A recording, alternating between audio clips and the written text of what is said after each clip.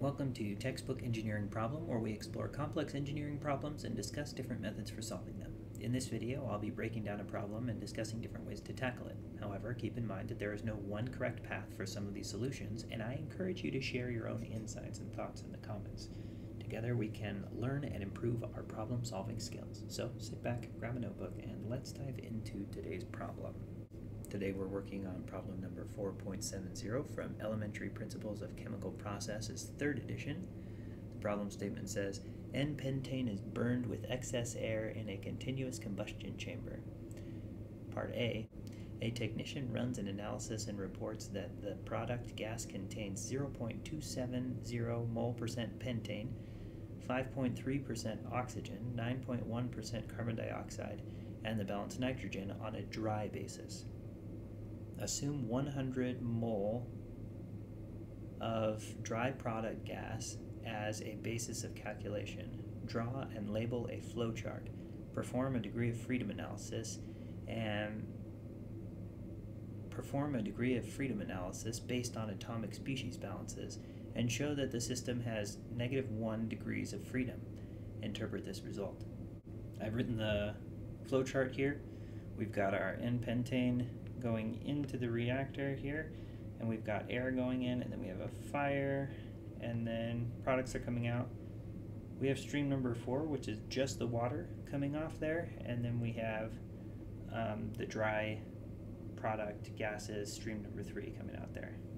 They give us that uh, we know all these things and then I've highlighted in red all of the unknowns. So we have three unknowns in this problem and we have four atomic balances. So we have one degree of freedom. The system is over specified. Sorry, I think I said one degree of freedom. I meant to say we have negative one degree of freedom, right?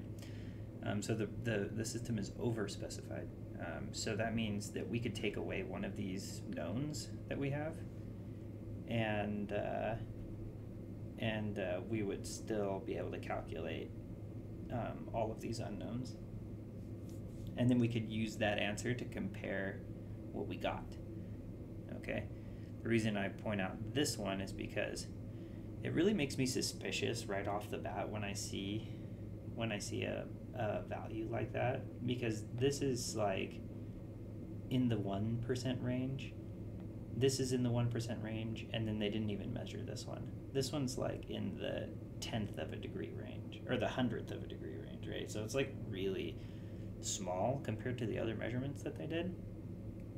And so right away, I'm kind of like, well, how do they know that that's accurate? Maybe they have a method for measuring that and it's really accurate.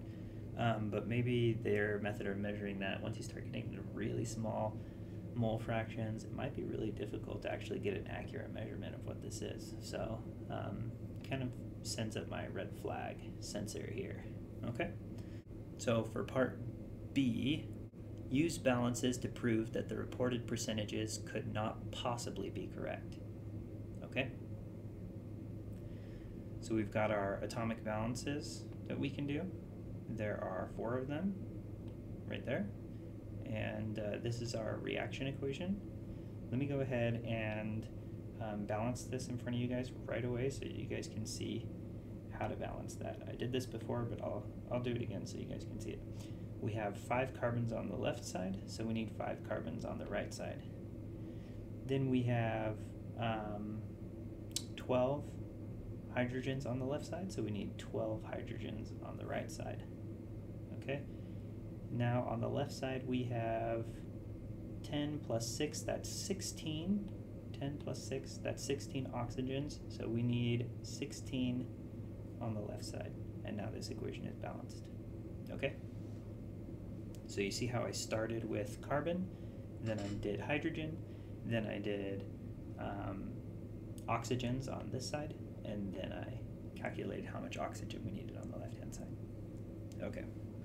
For every mole of pentane we have going in, we have five moles of carbon. Then for every um, mole of and for every mole of carbon dioxide we have going in, we have one mole of carbon going in for every um, mole of for every mole of pentane we have going out, we have five moles of carbon going out. okay? Now for oxygen, for every mole of oxygen we have going in the air, we have two moles of oxygen um, atom. Okay, for every mole of carbon dioxide, we have two moles of oxygen. For every mole of water, we have one mole. For every mole of oxygen going out, we have two moles going out. Okay? Now we're doing our nitrogen balance. We have a certain amount of nitrogen going in, and that will equal the amount of nitrogen going out. Easy. Um, for hydrogen, for every mole of pentane going in, we have 12 moles of hydrogen going in. Okay. For every mole of pentane going out, we have 12 moles of pentane going out, or 12 moles of hydrogen going out. And then for every mole of water going out, we have 2 moles of hydrogen going out. Okay? So that's how you do those balances. I have my ins on the left side and my outs on the right side for all of those. Okay, so what I'm going to do is I'm going to assume, I'm going to assume that my um, XP3 and my balance of nitrogen are unknown moving forward. Um, and then we're going to calculate and see what we get based off of the numbers they initially gave us to show that this the numbers that we initially got are not going to match up with with uh, what we calculated. Okay, so in this part what I did is I highlighted in red, in red I highlighted all of the um, unknowns and I numbered them and you can see that we have a total of five unknowns. They appear multiple times in these equations but we have five unknowns and we have um, five equations. One of the equations is a process specification that's kind of hidden when they say, and the balance is nitrogen. What they mean is that if you sum all the mole fractions, they should sum to 1. Okay, so that's our fifth equation right there. Okay? Okay, you can take a look at these results. You can see that um, when we solve the system of equations, um, the uh, the value that we calculate for the how much pentane's coming out, the mole fraction of that, the mole fraction of that is off by two orders of magnitude. Um, so, so this measurement is way off. Um, and so small inaccuracies in these measurements or in the other measurements that they gave to us that we're using to calculate what these things are um, can add up and make these small values um, to change into something like astronomically bigger than that or way smaller or something non-physical. Um, and so yeah that, that's uh, something you have to be really careful of when you're measuring these things. So you can go back and say hey can we verify these measurements see if these uh, these are correct? Um, so uh, then this can help you find out if something's wrong with your process or if there's just something wrong with the measurement.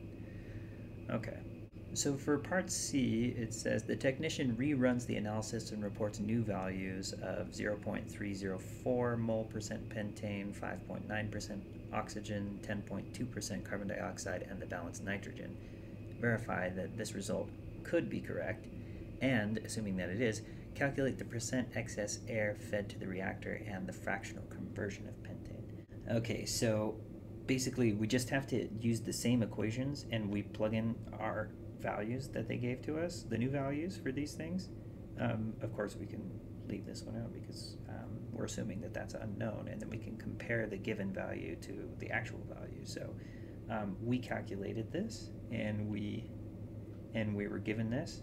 Hey, that's reasonable. That's pretty darn close. You know, calculating in like maybe there's a little bit of measurement error, right? Um, so yeah, we don't know what happened during that measurement, but something happened um, to make it, you know, the first measurement we did way off. Okay, but this one's much closer. So yeah, I'm satisfied that that's that's good enough. Okay, so using our calculated values, not the measured values, I'm going to go ahead and calculate what the uh, excess air is. Okay, so then the excess air is given here. Okay, and uh, how you calculate that is you find out how much um, moles of pentane you have going in and how much oxygen would you need in order to fully combust that. So you need 18.8 moles of oxygen to fully combust that. Well, how much oxygen was fed to the reactor? 22.2 moles of oxygen were fed. So what's the excess? Well, that's this minus this. Okay, so it's 3.4 moles of oxygen excess. Well, that's excess oxygen. What's the excess air? Okay, excess air is this is the moles of oxygen divided by what's the mole fraction of oxygen in air? That is 0.21. Okay, so then the answer of excess air is here. Okay? Now the fractional conversion of pentane. Okay, I think um, in this one I'm going to use the given value, so not the one that we calculated. And so the fractional conversion, how much pentane was convert uh, was consumed in the reaction. That is 87% of the pentane was consumed in the reaction. Okay, um, so you have how much pentane is going in, how much pentane came out. That'll give you how much is consumed. So how much was consumed divided by how much you put in is the fractional conversion. Okay, so that's 0.87. Okay. That is it for problem number 4.70. Thank you for watching, and I hope you found this video helpful in your problem solving journey. Remember, there are other routes you can take to arrive at the same correct answer, and I encourage you to leave a comment with any additional insights or questions you may have. Also, if you have any specific engineering problems you would like me to cover, please let me know in the comments. Your feedback is valuable, and I look forward to continuing the conversation with you. Don't forget to like and subscribe for more engineering problem solving videos. Thanks again, and I'll see you in the next video.